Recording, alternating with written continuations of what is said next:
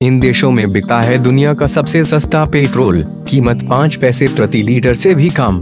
अंतर्राष्ट्रीय स्तर पर लगातार कच्चे तेल की कीमतों में गिरावट के बावजूद भी भारत में इसका कोई असर नहीं नज़र आ रहा है। इसके पीछे की वजह डॉलर के मुकाबले रुपए का गिरना है। जानिए विश्व के उन देशों के बारे में जहाँ सबसे सस्ते पेट्रोल की कीमत है। इस सूची में सबसे पहले नंबर पर वेनेजुएला आता है। यहाँ एक लीटर पेट्रोल का दाम शून्य दशमलव शून्य चार पैसे है। इस सूची में दूसरे नंबर पर क्यूबा का नाम है।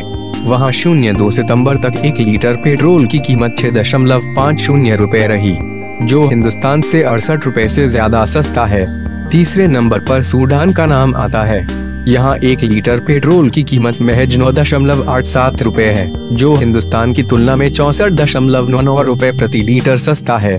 चौथे नंबर पर कुवैत का नाम आता है। यहाँ एक लीटर पेट्रोल का दाम चौबीस दशमलव नौ एक रूपए लीटर है, जो हिंदुस्तान की तुलना में उनचास दशमलव नौ पाँच रूपए प्रति लीटर सस्ता है। पाँचवें नंबर पर अल्जीरिया का नाम आता है।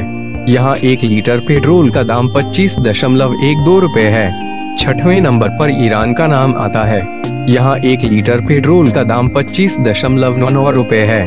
सातवें स्थान पर नाइजीरिया का नाम आता है।